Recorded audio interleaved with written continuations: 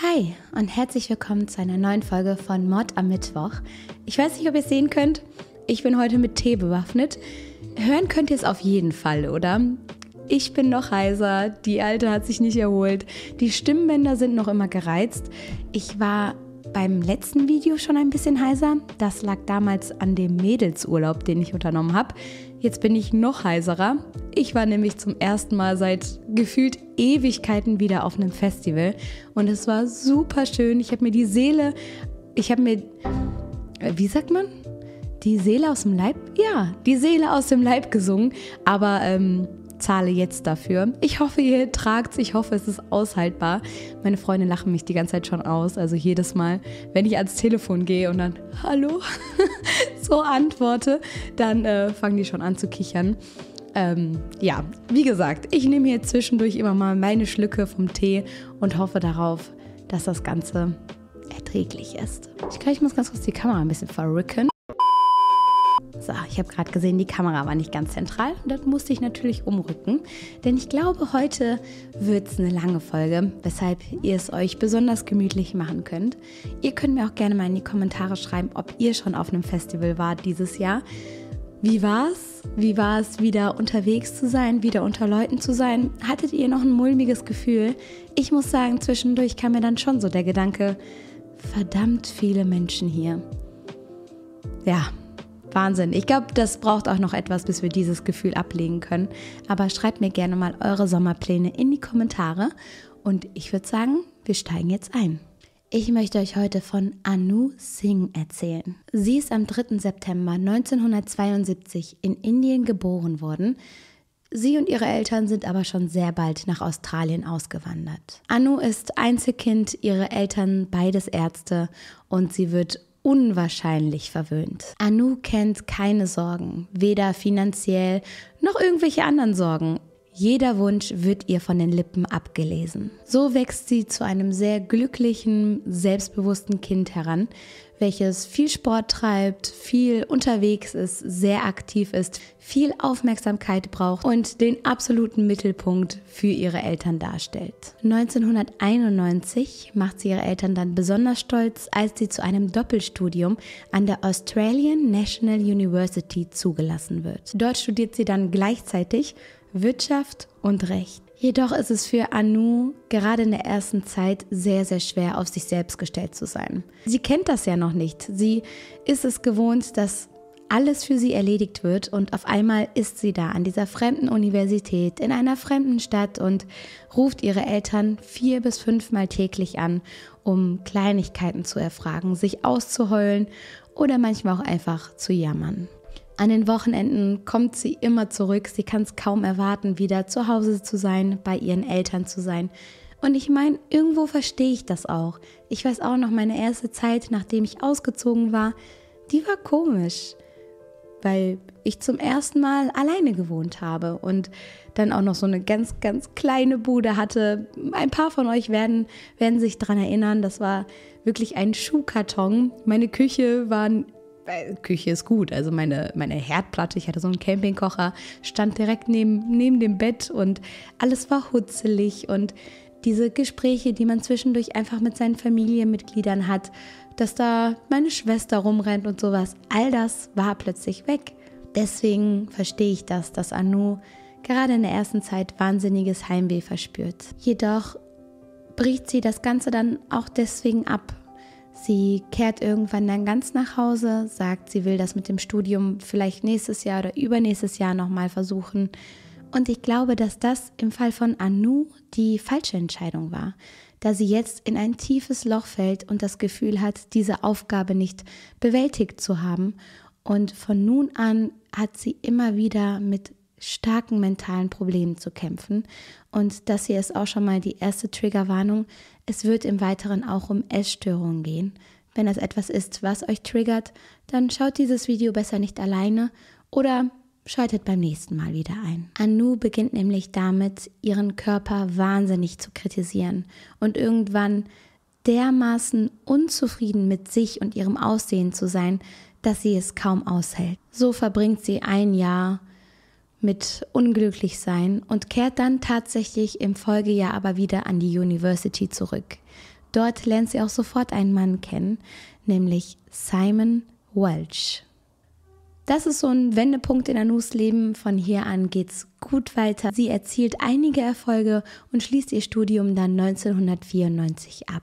1995 trennt sie sich dann von Simon und mit dieser Trennung kommt wieder eine schwere Zeit auf Anu zu. Ihre akademischen Leistungen, aber auch ihr mentaler Zustand verschlechtern sich wieder und sie beginnt damit, zu Drogen zu greifen. Gras, MDMA oder Koks, all das sind Dinge, vor denen Anu nicht zurückschreckt. Ihr Vater beobachtet in der Zeit, dass Anu immer nervöser wird. Sie wird trauriger, schläft schlechter und kritisiert sich hart. Sie findet ihren Charakter nicht gut, sie mag ihr Aussehen nicht. Und um diese Gefühle zu betäuben, greift sie wieder zu den Drogen. Irgendwann verliert sie dann eine Menge an Gewicht und das ist für alle offensichtlich. Nur Anu selber sieht es nicht. So packt sie jedes Mal eine Hautfalte an und sagt, das ist Fett, das ist alles Fett. Und ihr Vater versucht ihr zu erklären, nein, das ist einfach Haut. Das ist einfach Haut. Aber für Anu bedeutet das nur, ich muss weiter abnehmen. Ihre Essstörung geht so weit, dass sie sich irgendwann ausschließlich von Cola und Tim Tams, das sind so australische Riegel, ernährt. Also das ist wirklich dann das Einzige, was sie sich erlaubt. Alles andere will sie nicht essen. Anu streitet aber jegliche Form von Essstörung ab. Sie sagt, sie sei nicht depressiv, sie habe keine mentalen Probleme, ihr würde es super gehen, aber ihr würde es noch besser gehen, wenn sie eine Fettabsaugung von ihren Eltern bezahlt bekäme. Und das ist das, wo der Vater sagt, jetzt reicht's, du bist unfassbar schlank geworden, wir machen uns große Sorgen und jetzt willst du auch noch eine Fettabsaugung bezahlt haben. Wir müssen, wir müssen hier mal was, was machen. Hier muss sich was ändern. Mittlerweile ist es 1996 und Anu studiert weiter. Auch ihre mentalen Probleme gehen weiter. Sie wird immer depressiver und entwickelt auf der anderen Seite einen unwahrscheinlichen Drang nach Aufmerksamkeit. Das, was sie als Kind schon hatte, dass sie gerne der Mittelpunkt des Geschehens war, das hat sich gefühlt verfünffacht. Sie möchte gesehen werden, sie möchte angesprochen werden, sie möchte wahrgenommen werden. Von Freunden wird sie als aufbrausend beschrieben. Manche sagen sogar, sie sei regelrecht manipulativ. Sie schlägt auch gerne über die Stränge, testet ihre Grenzen. So erzählt sie einmal in ihrem Freundeskreis zum Beispiel, dass sie als Jurastudentin gewiss mit einem Mord davonkommen würde. Sie wisse ja, was man tun müsste, um vor Gericht nicht belangt werden zu können und deswegen könne sie den perfekten Mord planen. So erzählt sie zum Beispiel davon, dass sie eine psychische Erkrankung vortäuschen könnte, um vor Gericht dann als unzurechnungsfähig eingestuft zu werden. Ihre Freunde halten das alles für leeres Gerede, sie hören ihr gar nicht richtig zu. Es wird später bestätigt, dass die meisten ihrer Freunde sie tatsächlich als irrational und sehr übertrieben emotional eingestuft haben. Nun muss ich euch eine weitere Person vorstellen, Joe Sunk. Er kommt als Sohn italienischer Einwanderer in Australien zur Welt. Joe wächst in einem liebevollen Umfeld auf. Es ist eine sehr familiäre Situation. Es wird viel gequatscht, man teilt alles miteinander. Er ist der älteste seiner Geschwister und so der Schatz der Familie, der erste Sohn. Und er wächst glücklich auf, ja. Familie ist das Allerwichtigste für Joe und er hat eine enge Bindung zu all seinen Familienmitgliedern. Von Freunden wird er als charismatisch, liebevoll und fürsorglich beschrieben. Er soll auch sehr intelligent und empathisch gewesen sein. Außerdem hat er viele Freunde. Er ist extrovertiert, er liebt es rauszugehen, Kontakte zu knüpfen, zu quatschen. Er ist einfach ein Social Butterfly, wie man so schön sagt. Mit Erfolg schließt er dann irgendwann sein Maschinenbaustudium ab und beginnt dann in seiner Heimat Newcastle zu arbeiten. 1995 treffen Anu und Joe zum ersten Mal auf einer Party in Sydney aufeinander. Auf Anhieb verstehen die beiden sich gut. Da springt dieser Funke über und sie können den Abend lang nicht mehr voneinander lassen. Sie gehen sehr schnell schon eine Beziehung ein, obwohl Anu ja zu diesem Zeitpunkt noch da was anderes am Laufen hat, das ignorieren wir jetzt einfach mal, drücken wir mal ne, beide Augen zu. Auf jeden Fall geht das alles sehr schnell mit den beiden und Joe begibt sich sofort in eine sehr aufopferndere Rolle. Also er investiert in die Beziehung, er gibt seine ganze Zeit, seine Aufmerksamkeit, seine Energie, alles schenkt er Anu. Schon bald ist klar, Joe würde absolut alles für Anu tun. Und das ist etwas, was Anu unfassbar genießt. So ist es zum Beispiel so, dass sie eine Fernbeziehung führen. Anu wohnt zu diesem Zeitpunkt in Canberra Joe aber in Newcastle. Und das Ganze läuft natürlich darauf hinaus, dass Joe jeden Freitag mehr als fünf Stunden lang im Auto sitzt, um Anu zu sehen. Am Montagmorgen setzt er sich um vier ins Auto, um um neun wieder bei der Arbeit sein zu können. Andauernd telefonieren sie miteinander, stundenlang. Wenn Anu anruft, lässt Joe alles andere liegen. Und so sehr Anu das Ganze auch genießt, so kritisch sieht das die Familie von Joe. Sie sehen nämlich, wie er bereit ist, alles stehen und liegen zu lassen, nur für Anu.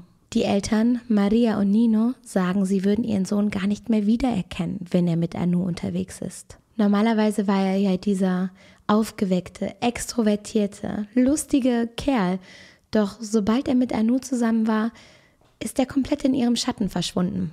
Alles, was man sehen konnte, war Anu, und Joe stand hinter ihr, um sie noch höher zu tragen. So war es zum Beispiel so, dass Anu wohl die Gespräche kontrolliert hat. Das heißt, wenn immer Joe mit jemandem ein eigenständiges Gespräch begonnen hat, hat sich Anu sofort eingeschaltet, hat sofort das Wort an sich gerissen, ihre Meinung platziert und die von Joe damit vollkommen weggewischt. Joes Eltern hatten so schon bald das Gefühl, dass Anu eine egoistische Person ist, eine Person, die sie nicht mit ihrem Sohn zusammen sehen wollen. Ein Beispiel dafür sind die Anrufe. Denn es ist Tradition in der Familie von Joe, dass man abends um 18 Uhr zusammen isst. Und ich habe ja schon erzählt, die Familie ist so miteinander und das Beisammensitzen, Zusammenessen und das Erzählen vom Tag war für die Familie heilig. Das war der Moment, wo alle am Tisch saßen, alle zusammengekommen sind. Und das war auch der Moment, an dem Anu jeden Abend angerufen hat. Das Essen beginnt um 18 Uhr. Anu hat jeden Abend um kurz nach sechs angerufen und erwartet, dass Joe alles stehen und liegen lässt, um mit ihr zu telefonieren. Joe hat dann auch konsequent den Esstisch verlassen und ist dann Stunden verschwunden, um mit Anu zu telefonieren. Und seine Mutter Maria hat das sogar mal bei Anu angesprochen. Sie hat sie darum gebeten, nicht dann anzurufen, wenn Abend gegessen wird, aber das war Anu egal. Sie wollte ja ihr Gespräch haben. Sie wollte ihre Aufmerksamkeit. Das Essen kann ruhig kalt werden. Kurz darauf, einige von euch ahnen es wahrscheinlich schon, zieht Joe dann auch die fünf Stunden weit weg von seiner Familie zu Anu. Und das bricht seiner Mutter das Herz. Sie will ihn gar nicht gehen lassen, obwohl es ja natürlich auch gesund ist, als junge Person mal die Welt zu erkunden.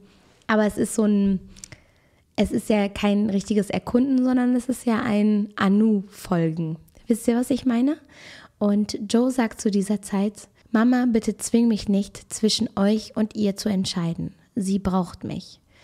Also ihr seht, er hat wirklich das Gefühl, für Anu verantwortlich zu sein und sie retten zu müssen und all ihre Probleme für sie klären zu müssen. Es kommt nämlich allmählich zu einer Art Eskalation. Anu geht es immer schlechter. Ihr mentaler Zustand wird von Tag zu Tag schlimmer. Joe kümmert sich um sie. Er steht ihr permanent zur Seite und versucht alles für sie zu tun. Aber es scheint nicht zu reichen. Denn Anus Selbstwahrnehmung und ihre Selbstreflexion, all das wird immer getrübter. Sie hält sich für dick und für krank und hat immer das Gefühl, irgendwas würde mit ihr nicht stimmen. Sie entwickelt zu dieser Zeit zum Beispiel eine Essbrechsucht, also Bulimie. Und das unterstützt sie mit einem Brechmittel mit dem Namen Ipecac. Sie leidet unter wahnsinnigen körperlichen Beschwerden. Am Ende des Jahres 1996 beschwert sie sich über schmerzende Beine, Hitzewallungen, Schmerzen im ganzen Körper und allgemeines Unwohlsein. Sie fühlt sich schwach und hat auch immer wieder Vorstellungen, so ist sie einmal der Meinung, dass Insekten unter ihrer Haut krabbeln würden. Und wenn man dann sagt, das ist doch nicht so, guck mal, es ist alles gut, dann dreht sie durch und sagt, du, du weißt nicht, was ich hab, du weißt nicht, was ich meine. Also steigert sich da so sehr rein und nichts und niemand scheint ihr helfen zu können. Einmal erzählt sie ihrer Mutter zum Beispiel, dass sie das Gefühl hat, dass ein fremder Kopf auf ihrem Körper sitzen würde. Und sie will diesen Kopf loswerden. Das ist nicht ihrer.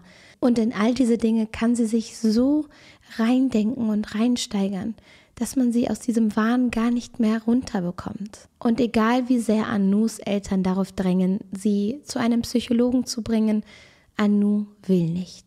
Es sei alles in Ordnung. Mental ginge es ihr super. Das einzige Problem wäre ihr Körper. Sie müsse einfach noch etwas abnehmen. Sie sucht zahlreiche Ärzte auf, um Bestätigung zu bekommen. Aber alles, was die ihr sagen, ist, dein Körper ist 1a, top gesund, alles ist gut, Blutwerte, was weiß ich. Das einzige Problem ist da oben. Du musst in Therapie. Aber das will Anu nicht wahrhaben. Stattdessen steigert sie sich gedanklich wieder in eine neue Krankheit herein. Jetzt denkt sie zum Beispiel, sie habe AIDS. Es gibt keinerlei Anzeichen dafür, keinerlei Gründe, wieso sie darauf jetzt gekommen ist, aber sie ist fest davon überzeugt, AIDS zu haben. Eines Abends sagt sie dann zu einer Freundin, dass sie es unfair findet, dass sie AIDS hat, Joe aber nicht und dass sie einen Plan schmieden würde, um Joe auch mit AIDS anzustecken. Sie wolle ihr Blut auf seine Zahnbürste schmieren, denn sie wären ja in einer Beziehung und das wäre ja total unfair, wenn einer krank ist und der andere nicht. Selbstverständlich fällt Anus AIDS-Test dann negativ aus, weil es keinerlei Symptome gab, keinerlei Ansteckungsmöglichkeiten oder sonst was. All das war einfach in ihrem Kopf. Aber dieses negative Testergebnis beruhigt sie nur kurz, denn sie überlegt natürlich schon sehr schnell wieder weiter. Was könnte ich stattdessen haben? Welche Krankheit könnte ich ansonsten noch ausbrüten? Zwischendurch geht sie dann davon aus, eine seltene Krankheit zu haben, die all ihre Muskeln zerstören würde. Dann aber kommt ihr der Gedanke, sie ist so krank wegen Ipecac, also wegen diesem Brechmittel. Und das alles sei einzig und allein die Schuld von Joe. Es hat sich nämlich zugetragen, dass Joe in einem lockeren Gespräch mit ihr, in dem sie über Models gesprochen haben, beiläufig erwähnt hat, dass manche der Models heutzutage wohl Ipecac nehmen würden, um zu erbrechen und so auf schreckliche und unnatürliche Weise Gewicht zu verlieren. Ja, das hat wohl dazu geführt, dass Anu dann am nächsten Tag direkt Ipecac besorgt hat und das habe sie krank gemacht und das alles sei natürlich Joes Schuld. An dem Tag dieser Erkenntnis beginnt Anu nun damit, ihrem Umfeld zu erzählen, dass sie sich ja an Joe rächen müsse. Klar, er war derjenige, der von Ipecac gesprochen hat und sie so krank gemacht habe. Dazu kommt, dass es Hinweise darauf gibt, dass Joe die Beziehung zu Anu vermutlich beenden möchte. Er hat das Ganze jetzt Ewigkeiten mitgetragen, hat alles gegeben, ist keinen Schritt vorwärts gekommen und kriegt jetzt auch noch die Schuld dafür, dass es Anu nicht gut geht. Und als er dann irgendwann ein neues Auto kauft, anfängt, seine Sachen aus dem gemeinsamen Zuhause rauszuräumen und einen Tag im Kalender als Auszugtag markiert, wird klar, dass Joe das alles nicht mehr mitmachen möchte. Viele denken im Nachhinein, dass das der Grund war, warum Anu dann durchgedreht ist.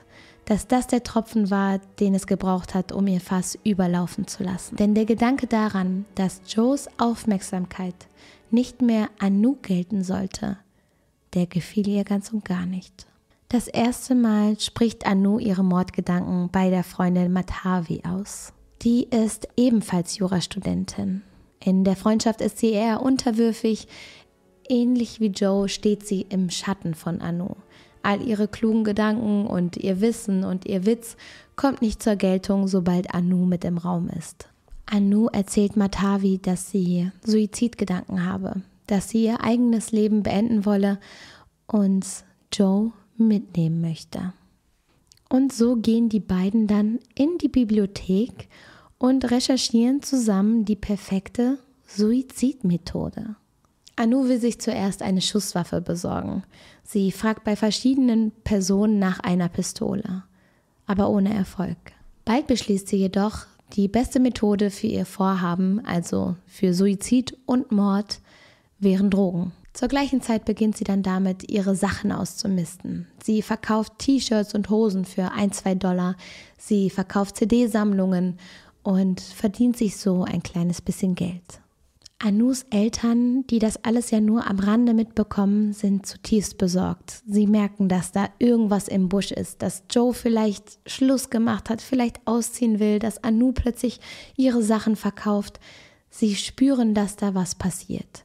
Sie wollen sie einweisen lassen, aber Anu weigert sich strikt dagegen. Stattdessen steigert sie sich in die Idee, rein zusammen zu sterben aller Romeo und Juliet gemeinsam in den Tod zu gehen. Sie will nicht, dass er um ihren Tod trauert, aber ich glaube, sie will noch viel eher nicht, dass er irgendwann ohne sie glücklich ist, dass er sich neu verliebt und vielleicht eine Familie gründet mit jemandem, der nicht sie ist.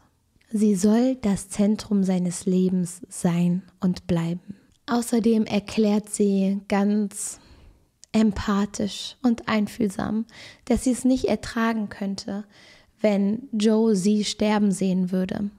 Das heißt, er muss zuerst sterben. Ich hoffe, ihr hört den Sarkasmus. Ich finde das so schrecklich. Ich finde das so schlimm, diese, diese Planung. Und ich nehme vorweg, ihr werdet euch aufregen. Ihr werdet euch aufregen. Holt euch schon mal ein Kissen, wo ihr reinschreien könnt. Die Schreivase. Habt ihr eine Schreivase? Holt euch eure Schreivase. Die werdet ihr gleich brauchen. Anfang Oktober 1997 kontaktieren Matavi und Anu dann Mr. T, einen anderen Studenten, der mit Drogen handelt. Anu fragt gerade heraus, wie viel Heroin es brauchen würde, um jemanden zu töten. Als Mr. T dann nachfragt, was sie denn vorhabe, sagt Anu, sie wolle sich selbst das Leben nehmen. Mr. T sagt daraufhin, dass die tödliche Dosis 100 bis 150 Dollar kosten würde. Anu verlässt das Haus erstmal, kommt aber ein paar Tage später dann wieder und mit Madhavi und den Dollar im Gepäck und kauft dann ein Kilo Heroin von Mr. T für 500 Dollar. Als er sie fragt, wofür sie das ganze Heroin braucht, sagt sie, jemand kommt mit mir.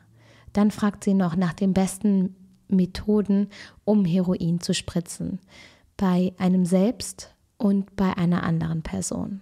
Erst führt er es an sich vor, dann spritzt er Anu eine Dosis und dann lässt er Anu ihrer Freundin Madhavi eine Dosis spritzen, damit sie es üben kann. Kurz darauf beginnt Anu dann damit, eine Dinnerparty zu organisieren. Sie lädt Freunde aus dem Jurastudium ein, Bekannte, Nachbarn, jeder, der kommen möchte.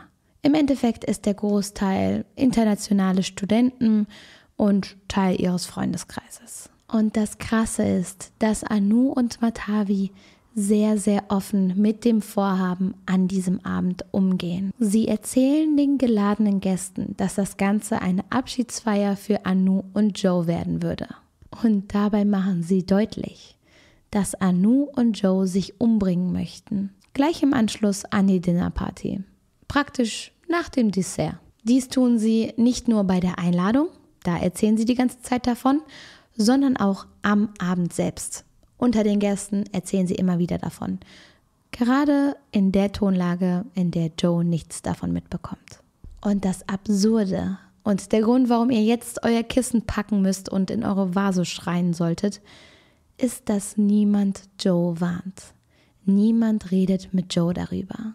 Joe geht den ganzen Abend lang, die ganze Zeit davon aus, dass Anu Freunde geladen hat, dass man einen Abend Spaß hat, ein Abend Leichtsinnigkeit, ein Abend Freude, ein Abend Party. Keiner klärt ihn auf. Niemand verliert auch nur ein Wort über seinen vermeintlichen Abschied, über Anus Pläne und den Grund für diese Party. Und klar, Anu hat es ja so verkauft, als wäre es ein doppelter Suizid. Und trotzdem frage ich mich, warum keiner gefragt hat, ey, das ist doch alles nur ein Witz oder das, was Anu erzählt hat, das ist das ist doch, ne, das ist doch nicht, nicht ernst gemeint oder sowas. Warum das niemand bei Joe hinterfragt hat oder ihn gewarnt hat oder zumindest gesagt hat, ey, deine Freundin erzählt echt kranken Scheiß, so pass auf. Stattdessen sitzen sie da, essen, lachen, trinken und gehen irgendwann, lassen Joe mit Anu und Matavi zurück. Anu mixt dann ein Betäubungsmittel in Joes Getränk. Er wird kurz darauf bewusstlos. Anu bringt ihn ins Bett und legt ihn zurecht. Dann verabreicht sie ihm eine große Dosis Heroin. Allerdings hat sich das Heroin wegen der großen Menge in der Spritze zu einer Art Gilet verformt. Irgendwas im Prozess ging schief. Währenddessen geht Mahavi nach Hause. Sie ruft nicht die Polizei, sie sagt nicht Anu, lass es.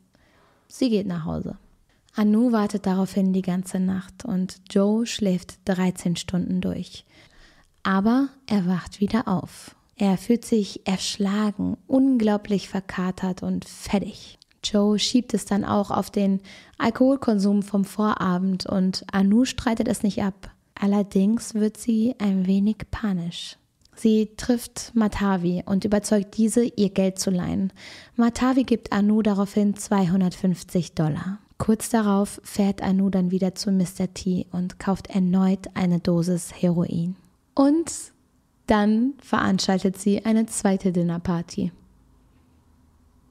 Ja, es ist wohl nicht so gelaufen, wie sie wollte. Das Ganze wird wiederholt. Und Joe wird wieder nicht gewarnt. Das heißt, die Menschen, die schon beim ersten Mal versagt haben, Joe zu helfen oder das Thema zumindest anzusprechen, haben hier eine zweite Chance bekommen. Wie oft im Leben bekommt man bei so einer heiklen Situation schon eine zweite Chance? Und diese Menschen haben sie bekommen und wieder nichts gesagt. Wieder saßen sie da alle, haben wahrscheinlich gegrübelt und getuschelt, wann es endlich soweit ist und was passieren wird und ob Anu das Ganze auch durchziehen wird. Aber keiner hat Joe gewarnt. Und wieder geht das Ganze von vorne los. Erneut verabreicht Anu Joe das Betäubungsmittel. Wieder spritzt sie ihm das Heroin. Diesmal ist es flüssig und deswegen kann sie die ganze Dosis injizieren. Zwischendurch kommt Matavi ins Zimmer und als sie den bewusstlosen Joe auf dem Boden liegen sieht, bekommt sie plötzlich Panik. Die Matavi, die von Anfang an die Pläne von Anu gekannt hat, die einzelnen Schritte mit ihr durchgegangen ist, den perfekten Mord geplant hat, die bekommt auf einmal Panik und will mit all dem nichts zu tun haben und geht nach Hause, ohne irgendwem Bescheid zu sagen. Nach ein paar Stunden ruft Anu Bronwyn an, eine Studentin, die mit ihr studiert und Anu das Betäubungsmittel besorgt hat. Anu fragt Bronwyn, was sie bei einer Überdosis tun soll. Bronwyn sagt ihr, sie solle sofort die Sanitäter anrufen. Darauf entgegnet Anu nur, das kann ich nicht. Er weiß es nicht. Er wird wütend sein. Als wäre das jetzt das größte Problem, dass er wütend wird. Sie fragt, was passieren würde, wenn die Sanitäter kämen. Bronwyn antwortet ihr, dass sie ihm Narcan geben würden und dass er dann aufwachen und wieder gesund werden würde. Immer wieder fordert Bronwyn Anu dazu auf, die Sanitäter zu rufen. Und Anu sagt immer wieder, nein, nein, das kann ich nicht, nein. Bronwyn erkundet sich nach dem Zustand der Person. Anu hat angedeutet, dass es sich um einen Freund handeln würde. Und Anu antwortet, seine Lippen wären blau und er würde alle zehn Sekunden nur noch einen Atemzug machen. Dann legt sie auf, ruft aber ein paar Sekunden später wieder an und sagt, es ist zu spät, er ist sowieso schon weg. Sie erklärt Bronwyn hysterisch, dass all dieses schwarze Zeug aus seiner Nase und seinem Mund kommt und dass es zu spät ist. Bronwyn sagt, dass sie zurückgeschrien habe, Nein, wenn du jetzt die Sanitäter rufst, wird er wieder gesund werden. Mach einfach weiter mit der Mund-zu-Mund-Beatmung, bis die Sanitäter kommen. Gib ihn nicht auf. Anu fleht Bronwyn an, rüberzukommen. Sie besteht darauf. Bronwyn willigt ein, fragt nach Anus Adresse. Daraufhin sagt Anu, nein, du willst doch gar nicht vorbeikommen. Du willst nur die Sanitäter rufen. Außerdem weigert sie sich dann, Bronwyn ihre Adresse zu geben. Das Ganze geht hin und her und Bronwyn sagt irgendwann, hör zu, Anu, wenn du die Sanitäter anrufst, wirst du einen wütenden Freud haben, wenn er aufwacht. Wenn du es nicht tust, wirst du wegen Mordes angeklagt. Als Bronwyn Anu das so klar sagt, scheint es gezündet zu haben. Und so geht dann ein Anruf von Anu ein. 36 Stunden nach der Heroinverabreichung ruft sie einen Krankenwagen. Jedoch ist der Gesprächsverlauf unglaublich frustrierend. Am Anfang wirkt Anu noch sehr gefasst, sehr sortiert. Das ändert sich aber schnell. Sie sagt, dass eine Heroinüberdosis genommen hat und schnell Hilfe braucht.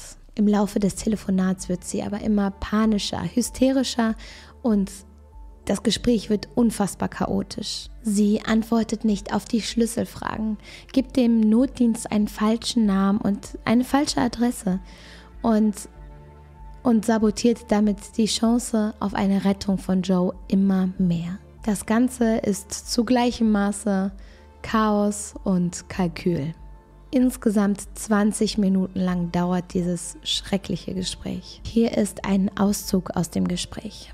Anu, können Sie bitte einen Krankenwagen vorbeischicken? Hier hat jemand eine potenzielle Heroinüberdosis erlitten.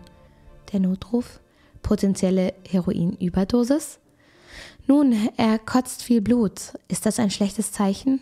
Ja, das ist ein schlechtes Zeichen. Kannst du mir die Adresse senden? Anu? Okay, warte. Wird er sterben? Bitte sagen Sie es mir. Wird er sterben? Also, es ist nicht gut, wenn er Blut spuckt. Oh nein, wird er wieder gesund? Der Notruf? Wir müssen die Sanitäter schicken. Ich brauche die Adresse. Könntest du mir die Adresse geben? Hm, okay, verständlich. Was ist die Adresse? Und ihr dürft nicht vergessen, dass sie zu diesem Zeitpunkt schon seit Stunden beobachtet hat, wie Joes Zustand sich immer weiter verschlechtert hat. Sie hat ihm beim Sterben zugesehen. Sein Atem wurde langsamer, die Farbe ist seinem Gesicht geblichen und die Lippen wurden blauer. Um 12.18 Uhr trifft dann endlich der Krankenwagen ein. Anu ist ängstlich, verwirrt und hysterisch. Schon schnell wird klar, dass man Joe nicht wiederbeleben kann. Und als Anu das begreift, wird sie hysterisch. Sie sagt, so war das nicht geplant. Wir sollten zusammengehen. Sie fragt mehrmals, ob die Sanitäter gar nichts machen könnten. Und sie versucht, den Körper von Joe zu küssen, zieht an seinem Gesicht, an seinen Klamotten, setzt sich auf ihn und versucht, ihn zu umarmen. Die Sanitäter rufen sofort die Polizei. Einer der Polizisten, die zu dem Tatort gekommen sind, erzählt später, dass Anu zappelig war und immer wieder geschrien hat, nein, nein, verlass mich nicht, Joe, Joe, Joe. Sie weigert sich, seinen Körper zu verlassen. Sie klammert sich an ihm fest. Man muss sie mit Hilfe von zwei Sanitätern von Joe runterreißen. Sie wehrt sich, sie schreit und schlägt um sich. Gewaltsam versucht sie immer wieder zu Joe zu gelangen. Immer wieder kommt sie an, bettelt und schreit, sagt mir, dass er gesund wird. Bitte sagt mir, dass er gesund wird. Als die Wiederbelebungsversuche irgendwann eingestellt werden, schreit sie, Nein, das kann nicht sein. Sie können nicht aufhören. Sie müssen ihn zurückbringen. Das darf nicht wahr sein. Holen Sie ihn zurück. Und Anu wird direkt danach am Tatort noch festgenommen und abgeführt. Nach zwei Jahren der Untersuchungshaft wird Anu dann wegen verminderter Zurechnungsfähigkeit nicht des Mordes, sondern des Totschlages schuldig gesprochen. Experten, die während der Verhandlung in den Zeugenstand treten, haben bei ihr eine Borderline-Persönlichkeitsstörung feststellen können. Deswegen halten sie sie für vermindert schuldfähig. Der Richter spricht eine Haftstrafe von zehn Jahren aus. Anu wird jedoch nach vier Jahren freigelassen. Ende Oktober 2001 ist sie bereits eine freie Frau. Joes Familie ist am Boden zerstört. Sie haben ihren großen Schatz verloren, ihren Joe. Und die Mutter von Joe sagt irgendwann in einem Interview, das Leben meines Sohnes war vier Jahre Gefängnis wert. Und ich muss sagen, ich finde es wahnsinnig wichtig, dass mentale Zustände vor Gericht eine Rolle spielen. Dass man darauf guckt, hat sie Persönlichkeitsstörungen, was ist in ihr vorgegangen. Da war die Depression, da war die bipolare Persönlichkeitsstörung. Und trotzdem hat sie das geplant. Es war ein geplanter Mord. Es war kein Totschlag. Es war keine Übersprungshandlung. Es war keine Verteidigung. Es war geplant. Sie hat Leuten davon erzählt. Sie hat den Stoff besorgt. Sie hat es sogar zweimal getan, weil es beim ersten Mal nicht funktioniert hat. Wie sehr will man einen Mord noch planen, wenn nicht so? Und vier Jahre für das Leben eines jungen Mannes, der alles dafür getan hat, um sie zu unterstützen. Ein Mann, der mittlerweile, ja, eine ganze Familie, erwachsene Kinder haben könnte. Vielleicht in den nächsten zehn Jahren schon Großvater werden könnte, wenn, wenn alle schnell sind und wenn meine Rechnung aufgeht. Ein Mann, der es verdient hat, sein Leben zu leben. Vier Jahre. Im Gefängnis schließt Anu dann ihr Jurastudium ab. Sie erwirbt einen Masterabschluss in Kriminologie und schreibt ihre Abschlussarbeit über die Ursache weiblicher Kriminalität. Nach ihrer Entlassung übernimmt sie dann die Hauptrolle im Dokumentarfilm über sich selbst. Außerdem hat sie einen neuen Job im Cabramatta Community Center, wo sie Nachforschung anstellt und saubere Spritzen an Süchtige verteilt. Joes Mutter sagt dazu, ich denke, das ist ein Witz. Das ist der letzte Job auf der Welt, den sie haben sollte. Das macht uns noch wütender. Man möchte ihr Gesicht nicht sehen, wie sie lächelt, als ob sie sich um nichts auf der Welt kümmern würde. Joes Familie wird von Anus Team angesprochen. Sie will sich bei ihnen entschuldigen, vor laufender Kamera, für den Dokumentarfilm. Joes Mutter sagt, sie ist nicht an einer Entschuldigung von dieser Frau interessiert. Vor allen Dingen nicht, wenn es für einen Film ist. Sie ist manipulativ und sehr egoistisch, sagt sie. Anu sagt, wenn ich die Uhr zurückdrehen könnte, wenn ich damals auf die Menschen hätte hören können und die richtige Hilfe bekommen hätte, dann wäre das nicht passiert. Ich weiß, dass dies in meinem Fall nicht passiert wäre, wenn ich mich in einem besseren psychischen Zustand befunden hätte. Tatsächlich rief meine Mutter vor den Ereignissen mehrmals das Krisenteam für psychische Erkrankungen an und ich fiel durch die Maschen wie viele Frauen es tun. Sie sagt, sie habe sich an die Eltern von Joe gewandt, könne aber verstehen, warum diese nicht mit ihr sprechen wollen. Ich möchte mich einfach von Angesicht zu Angesicht bei Ihnen entschuldigen. Ich weiß, dass das nichts bedeutet und dass es Ihnen nicht zurückbringen oder Ihren Schmerz lindern wird. Aber ich möchte in der Lage zu sein, schauen Sie, ich bin zutiefst betroffen, genau wie Sie. Genau wie Sie. Ich weiß nicht, Anu, ich weiß nicht. Es waren deine Entscheidungen. Und Joes Eltern wollten Joe nie leiden sehen. Du schon. Wow, warum rede ich jetzt so, als würde Anu das jemand sehen? Aber ich finde es so anmaßend zu sagen, dass sie genauso leiden würde wie die Menschen, die Joe über alles geliebt haben und wirklich das Beste für ihn wollten. Die große Frage, die noch im Raum steht, ist, wie konnte es so weit kommen? Eine Erklärung dafür ist der Bystander-Effekt. Ein Phänomen, das beschreibt, dass die Wahrscheinlichkeit eines Eingreifens sinkt, je mehr Augenzeugen ein Verbrechen beobachten. Das heißt, man sieht etwas Schreckliches, man bemerkt, ach, hier sind so viele andere Menschen, irgendwer wird schon was machen, irgendwer wird eingreifen, dann muss ich das ja nicht mehr tun. Blöd nur, wenn alle das denken und keiner mehr was tut. Krass finde ich dabei auch, dass es alles Jurastudenten waren dass es alles Menschen waren, die sich das Recht zur Aufgabe gemacht haben, die später Menschen vertreten wollen, für ihr Recht einstehen wollen. Diese Menschen haben das Recht an diesem Abend vergessen, ignoriert oder einfach für die Unterhaltung und den Nervenkitzel kurz aus den Augen verlieren wollen. Es wurde keine Hilfe geleistet, es wurde nichts unternommen. Und so schließt sich heute ein unfassbar frustrierender Fall. Jemand, der nur das Beste wollte für Anu und dafür mit seinem Leben bezahlen musste. Ich bin sehr gespannt, was ihr zu all dem denkt. Ich frage mich, hättet ihr was gesagt? Weil ich krieg's nicht in meinen Kopf. Irgendwie denkt man ja, wieso hat keiner was gemacht? Wieso nicht? Wärt ihr eine der Personen gewesen, die Anu aufgehalten hätte? Schreibt es mal unten rein. Ich bin sehr gespannt zu lesen, was das Ganze mit euch macht, wie es euch geht und würde sagen, passt auf euch auf. Wir sehen uns beim nächsten Mal.